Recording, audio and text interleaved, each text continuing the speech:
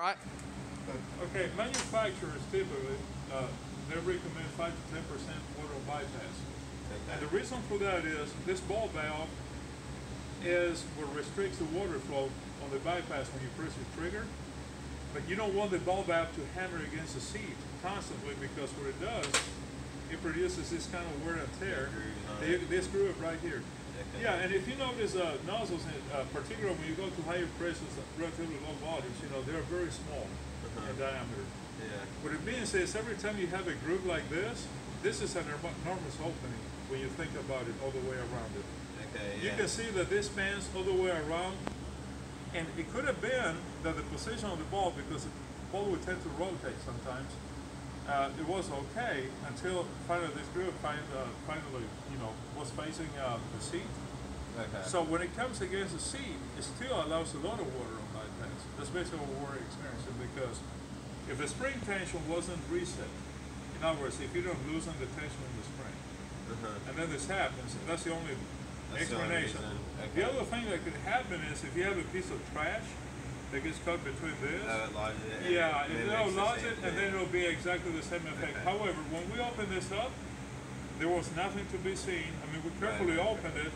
I don't notice any trash. I mean, we could still try it in case there was something or we dislodged it in the process of opening it up. Okay. But there's a good possibility that uh, this It's right ball. here, yeah, probably rotated back in the, the wrong position where it actually allowed all that water, you know, to, to on bypass. Okay. But uh, typically, uh, when you have a downstream injection, uh, the way it works is the pressure drops to nearly nothing. Mm-hmm. You know, and then you have uh, when you release the trigger you know, then you have the hammering effect. Okay. Because by Why does it hammer down with no? Well, there's no because uh, the way the unloader works is when you release the trigger, okay. uh, pressure builds up. It's a, what they call a pilot effect. Uh, on top of this stem, you have a passageway right here. You have a check valve. okay. When you release the trigger gun, water ceases to flow.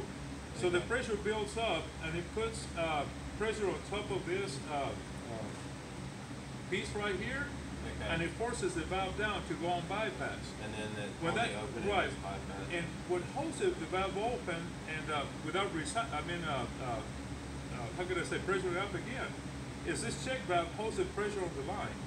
okay. If you notice uh, the way a pressure actuated unloader works, you have an operating pressure, let's say 3,000 psi. So when you release a trigger gun, the pressure typically will climb 3 400 psi, depending. Okay.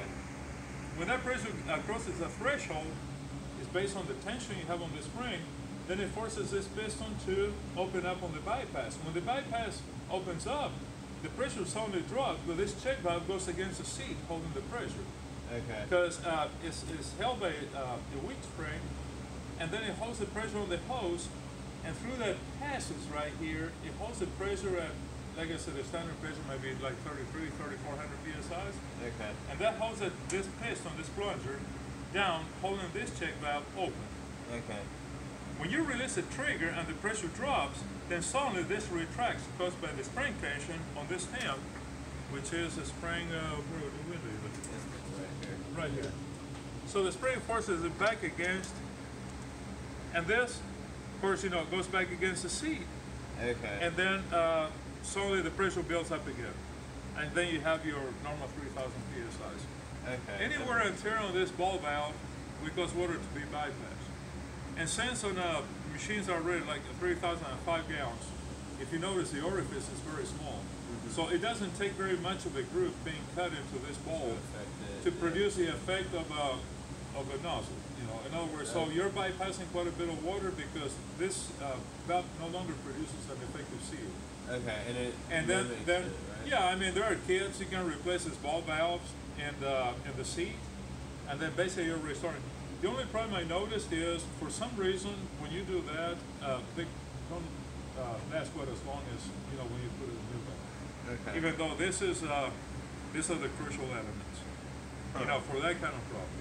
Okay. And, uh, and that's about it. The only other problem you may have on an unloader, typically, pressure actuated unloaders are relatively simple, is when you have this uh, uh, check valve, which is like a bullet shape with a seal. If Okay. it fails, or the seal wears out, or if it's gone, then when you release a trigger gun, it works like a pressure, I mean, a, um, a pressure regulating valve. So instead of unloading, when you release a trigger, then it, it, goes on bypass, but under high pressure.